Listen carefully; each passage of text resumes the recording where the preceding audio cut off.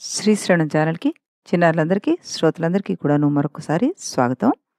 ఈరోజు మనం ఈ ఆజ్ఞవల్కుడి కథని మళ్ళీ జనక మహారాజుతో జరిగిన సంభాషణ ద్వారాను చెప్పుకుందాం. విదేహ దేశానికి చక్రవర్తి అయిన జనకుడి దగ్గరికి యాజ్ఞవల్కుడు మళ్ళీ వచ్చాడు. ఈసారి జనకుడు అన్నాడు "ఓ మునీంద్ర! మీకు మరిన్ని గోవులు కావాలా? లేదా నన్ను తత్వంలో ప్రశ్నించడానికి వచ్చారా?" అంటూ అడిగాట. ఆ రోజుల్లో అడవుల మధ్యలో గురుకులాలు నడవడం చాలా కష్టంగా ఉండేది. వేద విద్యకి విద్యార్థులు గురుకులాలకు అలా వస్తూనే ఉంటారు. ఒకసారి గురుకులానికి వచ్చిన విద్యార్థి సుమారు 12 సంవత్సరాలు అక్కడే ఉండి చదువు పూర్తి చేసుకుని వెళ్ళేవారు. ఈ విద్యార్థులందరికీ వసతి కల్పించి, భోజన సదుపాయాలు చేయడం మునులకు, ఋషులకు తలకు మించిన పనిగానే ఉండేది పాపం. అప్పుడు ఆ ఋషులు రాజులను ఆశ్రయించి గోవులను, ధాన్యాలను దానంగా అర్థిస్తూ ఉండేవారు. యాజ్ఞవల్కుడు బ్రహ్మ విద్యా సంవాద సమయంలో వెయ్యి గోవులను, వాటి కొమ్ములకు అలంకరించిన బంగారు తొడుగులు, వాటికి కట్టబడిన నాణేలతోటి ఎప్పుడూ సంపాదిస్తూ ఉండేవాడు.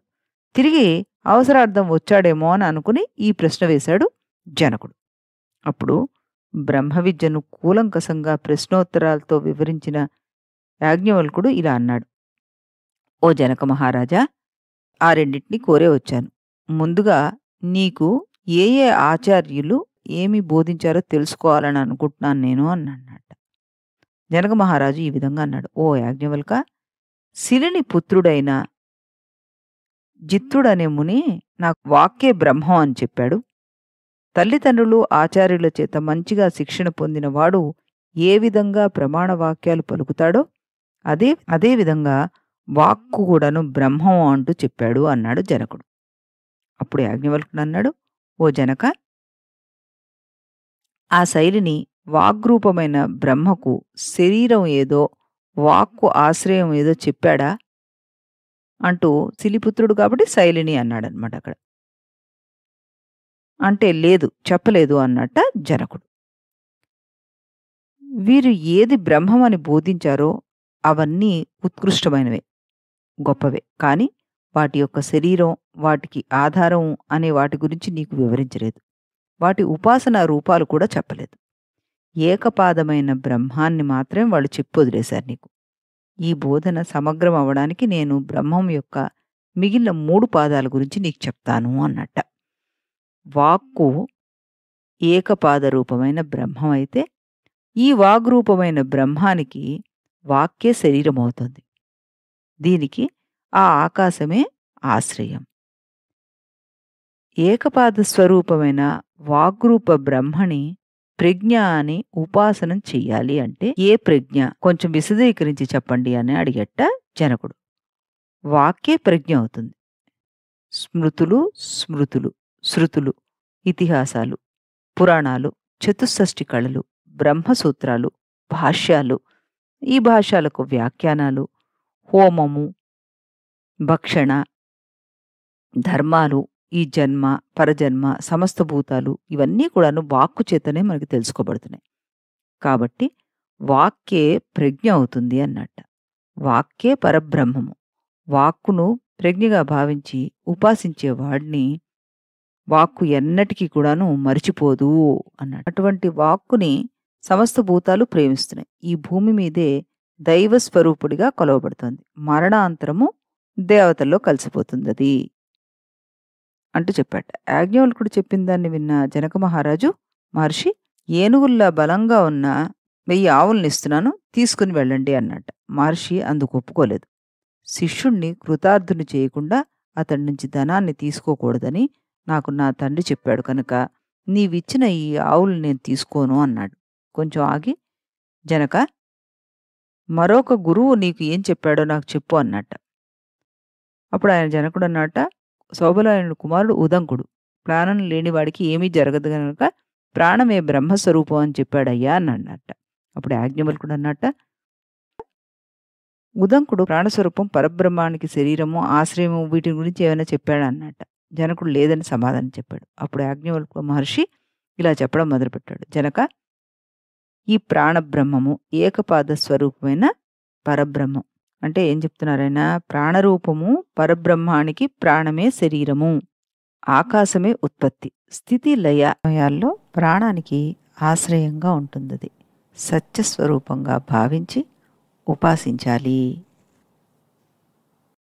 ప్రాణమే ప్రియమైనది ఎందుకంటే ఈ మనుష్యులు ప్రాణములను కాపాడుకోవాలనే కోరికతోటి ధనాన్ని ఆర్జించడం కొరకు అనర్హుల చేత కూడా యాగాలు చేయిస్తున్నారు గ్రహించనలవి కాని తీక్షణమైన వస్తువులను గ్రహిస్తున్నారు వీళ్ళు.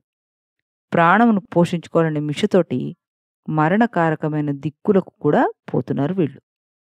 అందుచేత ఇదే అన్నిటికంటే ప్రియమైనది ప్రాణమే పరబ్రహ్మం అన్నట్ట. ఆ ప్రాణం కాపాడుకోవడం కోసం మనం అన్ని రకాల పనులు చేస్తున్నాం కదా అందుకని అదే పరబ్రహ్మం అంటూ చెప్పాట.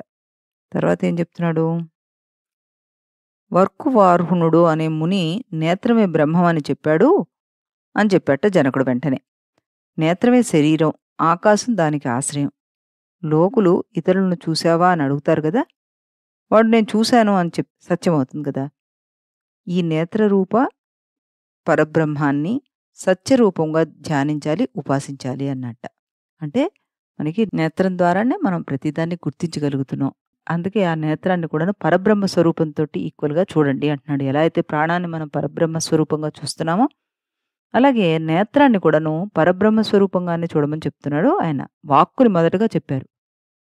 అందుకే మనకి వేదాన్ని అంత గౌరవం ఇస్తారు వేదం వాక్కు ద్వారా మనకు తెలుస్తాం. వేదం అంటే శృతి. ఇకపోతే ఓ యాజ్ఞవల్క గర్ధపీ విపీతుడని ముని తల్లిదండ్రులు ఆచార్యుల వల్ల శిక్షితుడైన వాడు సత్యాన్ని ఎలా పలుకుతాడో ఆ విధంగానే సత్యమైన శ్రవణం లేకపోతే ఏమి సిద్ధించదు గనక శ్రోతమే బ్రహ్మం అని చెప్పాడు అన్నాడు. మినికిడి శక్తే బ్రహ్మ అంటూ చెప్పాడు అని చెప్పారనమాట అప్పుడు యాజ్ఞవల్కుడు అన్నాడు ఓ విదేహరాజా శ్రోత్రానికి శరీరము ప్రతిష్ట ఏదో చెప్పాడా అని అడిగట. ఆ విషయం నాకు చెప్పలేదు అన్నట్ట జనకుడు. యాజ్ఞవల్కుడు అన్నట్ట అయితే నేను చెప్తున్నది విను. పరబ్రహ్మకు వినికిడి రూపమైన బ్రహ్మ నాలుగో భాగంగా ఉన్నాడు. దీనికి వినిపించడమే శరీరం. అంతటా వ్యాపించిన ఆకాశము ఉత్పత్తి స్థితి లయల సమయాల్లో ఆశ్రయంగా ఉంటుంది ఇది ఇలా వినికి విడికిడి రూపంలో ఉన్న పరబ్రహ్మాన్ని అనంత రూపం అనుకొని మనం ఉపాసించాలి. అంటే వినికిడి శక్తి కూడాను మనం పరబ్రహ్మమే అని ఉపాసించాలి అంటూ చెప్తున్నారనమాట అనంత స్వరూపం కలిగినవి దిక్కులే. ఇంతవరకు ఎవరు ఒక దిక్కు వైపుకు వెళ్ళి తిరిగి వచ్చి ఇది ఇక్కడితో అయిపోయిందని పూర్తిగా చెప్పలేకపోతున్నారు. అనంతులైన దిక్కులు వినికిడికి స్వరూపం అన్నమాట ఈ వినికిడి స్వరూపమే పరబ్రహ్మం. ఇది ఉపాసించిన వాణ్ణి శ్రోత్రం ఎప్పుడు కూడాను విడిచి వెళ్ళిపోదు. అతడితో భూతాలన్నీ కూడాను స్నేహంగా ఉంటాయి అని ఆయన చెప్పగానే ఈయన అన్నారు మీకు వెయ్యి ఆవులను ఇస్తాను తీసుకువెళ్ళండి అన్నట్ట. అప్పుడు కూడాను ఈయన వద్దు పూర్తిగా నీకు జ్ఞానాన్ని అందించినట్టుగా అనిపించట్లేదు కాబట్టి నేను ఇవి తీసుకోను అంటూ ఆయన నిరాకరించి ఇంకా ఏ గురువులు ఏం చెప్పారో కనుక్కోవడానికి సంసిద్ధుడయ్యాడు. మరి ఈ విషయం మనం రేపటి కథలో తెలుసుకుందాం. అంతవరకు సెలవు.